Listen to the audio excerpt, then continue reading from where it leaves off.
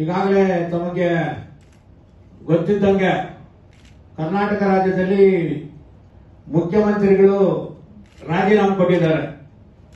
ಇವತ್ತು ಮುಖ್ಯಮಂತ್ರಿಗಳು ಸ್ಥಾನ ಖಾಲಿ ಇದೆ. ನಮ್ಮ ಸಮಾಜಕ್ಕೆ ಸೇರಿದಂತ ಹಿರಿಯರು, ಏನು ಯಡಿಯೂರಪ್ಪನ ಸಮಕಾಲೀನರಾದಂತ ಈಶ್ವರಪ್ಪ ಅವರು, ಡಿ ಸಿ ಎಂ ಆಗಿದ್ದಂಥವರು ಈ ರಾಜ್ಯ ಏನು ಮೂವತ್ತೆರಡು ಪರ್ಸೆಂಟ್ ಇದ್ದಂತ ಹಿಂದುಳಿದ ವರ್ಗದ ವರ್ಗದ ಬಿಜೆಪಿಯಲ್ಲಿ ಗುರುತಿಸ್ಕೊಂಡು ಹಿಂದುಳಿದ ವರ್ಗ ವರ್ಗಕ್ಕೆ ನಾಯಕರಾಗಿದ್ದಂಥವ್ರು. ಅವ್ರನ್ನ ಪಕ್ಷ ಡಿ ಸಿ ಎಂ ಸಹ ಮಾಡಿದ್ರು. ಈಗ ಗ್ರಾಮೀಣಾಭಿವೃದ್ಧಿ ಮತ್ತು ಪಂಚಾಯತ್ ರಾಜ್ ಸಚಿವರಾಗಿದ್ರು.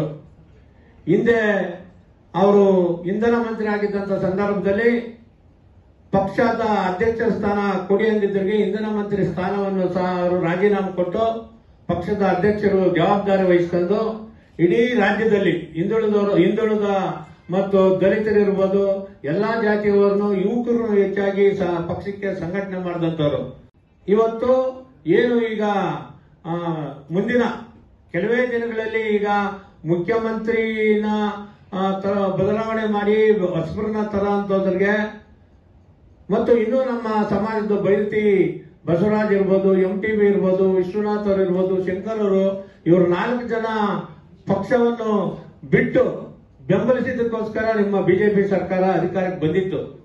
ಈಗ ಮತ್ತೆ ನಮ್ಮ ಸಮಾಜದವರು ಆ ನಾಲ್ಕು ಮಂದಿ ಜೊತೆಗೆ ಈಶ್ವರಪ್ಪ ಇನ್ನಿತರರೆಲ್ಲ ಸೇರಿ ನಿಮ್ಮ ಪಕ್ಷಕ್ಕೆ ಬೆಂಬಲ ಕೊಡ್ತಾ ಇರೋದ್ರಿಂದ ಬಿಜೆಪಿ ಸರ್ಕಾರ ರಚನೆ ಮಾಡಾಕ ಮುಂದೆ ಬಿಜೆಪಿಯನ್ನು ಈ ರಾಜ್ಯದಲ್ಲಿ ನೀವು ಕೆಲಸ ಮಾಡೋದಕ್ಕೆ ಅವಕಾಶ ಇದೆ.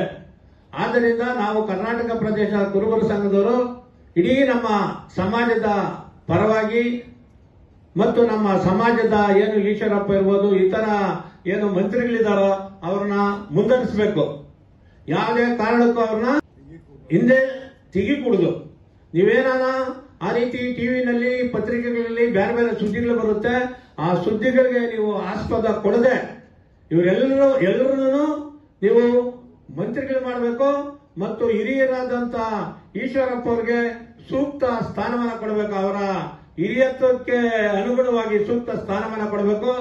ಹಿಂದೆ ಯಡಿಯೂರಪ್ಪ ಅವರು ನಾಲ್ಕು ಬಾರಿ ಅದರಿಂದ ನಾವು ಅವ್ರಿಗೆ ಸೂಕ್ತವಾದ ಸ್ಥಾನಮಾನ ಅಂತ ಹೇಳಿದ್ರೆ ಮುಖ್ಯಮಂತ್ರಿ ಸ್ಥಾನವನ್ನು ನೀಡಿ ಅಂತ ನಾವು ಒತ್ತಾಯ ಮಾಡ್ತಾ ಇದ್ದೀವಿ.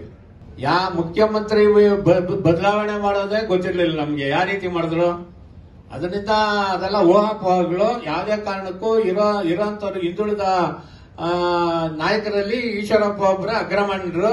ಅವರು ಯಡಿಯೂರಪ್ಪನ ಸಮಕಾಲೀನರು. ನಾಲ್ಕು ಜನ ಎಂ ಎಲ್ ಎಗಳಿದ್ದಂತ ಕಾಲದಿಂದ ಇಲ್ಲಿಯ ತನಕ ಅವರು ಪಕ್ಷವನ್ನು ಕಟ್ಟಿ ಬೆಳೆದಂತವರು ಅದರಿಂದ ಯಾವುದೇ ಕಾರಣಕ್ಕೂ ಅವ್ರನ್ನ ಮಂತ್ರಿಯಿಂದ ಕೈ ಬಿಡುವಂತ ಪ್ರಶ್ನೆ ಉದ್ಭವಿಸಲ್ಲ ಉದ್ಭವಿಸಲ್ಲ. ಅಲ್ಲ, ಯಡಿಯೂರಪ್ಪ ಅವ್ರಿಗೆ ಅವರೇ ಹೇಳಿದ್ದಾರೆ, ಯಾಕೆ ಬಿಟ್ರು ಏನು ಅಂತ. ಅದ ಕೈ ಬಿಟ್ರೆ ನಾವು ಇಡೀ ಏನು ಸಮಾಜ ಇದೆ ಅವರ ಅಭಿಮಾನಿಗಳಿದ್ದಾರೆ? ಸಮಾಜದ ಮುಖಂಡರಿದ್ದೀವೋ ನಾವು ಸರ್ಕಾರದ ವಿರುದ್ಧ ಹೋರಾಟ ಮಾಡ್ತೀವಿ. ಕೇಂದ್ರದಿಂದ ವೀಕ್ಷಕರು ಬರ್ತಾ ಇದ್ದೀರೋ, ನಿಮ್ಮ ಮುದ್ರಣ ಮತ್ತು ಮಾಧ್ಯಮದ ಮುಖಾಂತರ ಅವರ ಹಿರಿತನಕ್ಕೆ ತಕ್ಕಂಗೆ ಅವರಿಗೆ ಸೂಕ್ತ ಸ್ಥಾನಮಾನ ಕೊಡಬೇಕು.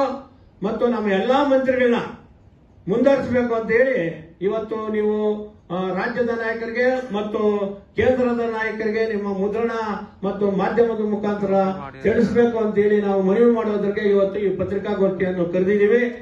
ತಾವು ಎಲ್ಲ ಪತ್ರಿಕೆಗಳಿಗೆ ಮತ್ತು ನಮ್ಮ ಮುಖಂಡರಿಗೆ ಮುಟ್ಟುವಂತ ರೂಪದಲ್ಲಿ ನೀವು ಈ ಮುದ್ರಣ ಮತ್ತು ಮಾಧ್ಯಮದ ಮುಖಾಂತರ ನೀವು ತಿಳಿಸ್ಬೇಕು. ಮತ್ತು ಅದೇ ರೀತಿ ಅವ್ರನ್ನ ಮುಂದುವರಿಸಬೇಕು ಅನ್ನೋ ರೀತಿಯಲ್ಲಿ ನೀವು ಸಹ ನಮಗೆ ಸಹಕಾರ ನೀಡಬೇಕು ಅಂತ ಹೇಳಿ ತಮ್ಮಲ್ಲಿ ಮನವಿ ಮಾಡೋದ್ರಿಗೆ ಇವತ್ತು ಪತ್ರಿಕಾಗೋಷ್ಠಿಯನ್ನು ಕರೆದಿದ್ದೀವಿ. ತಾವೆಲ್ಲ ಬಂದಿದ್ದೀರಿ. ನಮಗೆ ನಂಬಿಕೆ ಇದೆ.